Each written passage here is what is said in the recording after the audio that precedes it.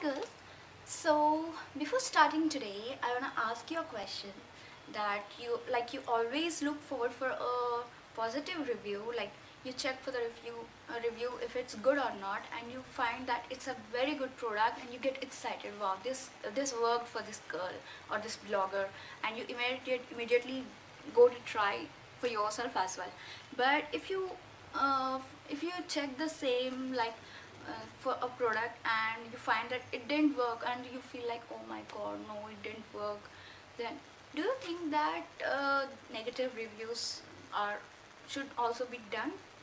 But i think yes because uh, because negative reviews even though it did it wasted so much of money for the, of the blogger but it did it does help for help others save money. So today I have one product that wasted my money but I hope that will save yours. So what is that product I have and I've tried? So can you guess what is this? I'm sure you guessed that it's a lip balm or lip cream but can you guess which brand this one is?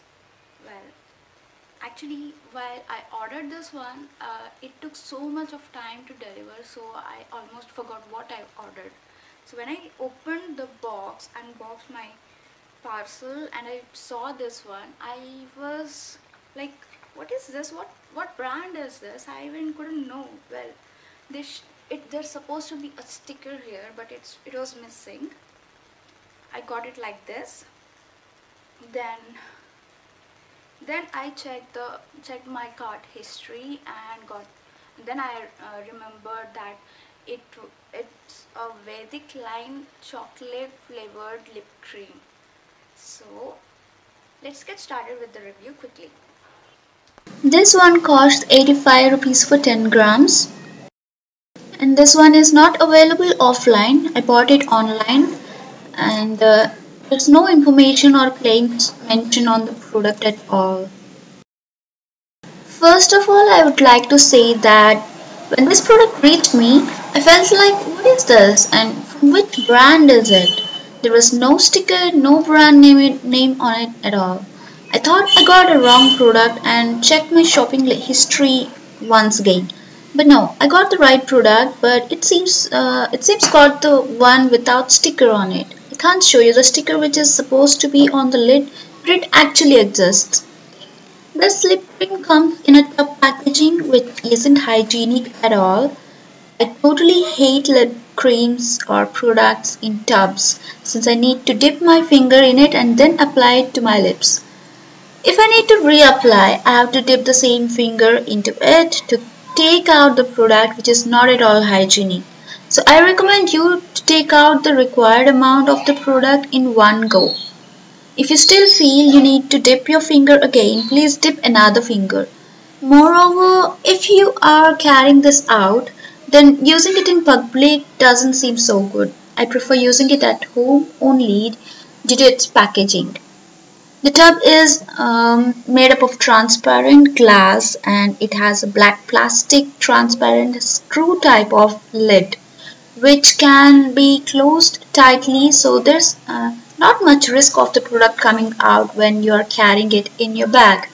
It is definitely travel friendly but uh, do not drop it so often since I once dropped it and saw slight damage on the bottom part of the tub like any glass tub may get.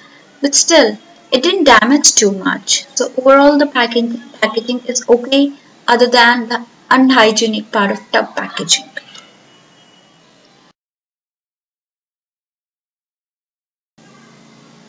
The color of the lip cream as you can see in the picture is a little lighter than a regular chocolate.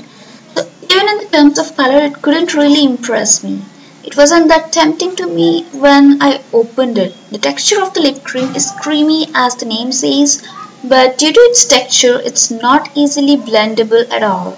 So I prefer a lip balm which isn't that creamy. However, I do like creamy products than those with thin consistency. The fragrance isn't strong and is less chocolatey which slightly disappointed me again. I expected it to smell like a dairy milk chocolate. but this was more of any creamy skincare product. So this could be a cocoa butter fragrance which I'm not much sure. I really expected it to smell like chocolate as soon as I opened the lid. When I first time applied it, I really got de depressed since it isn't blendable at all.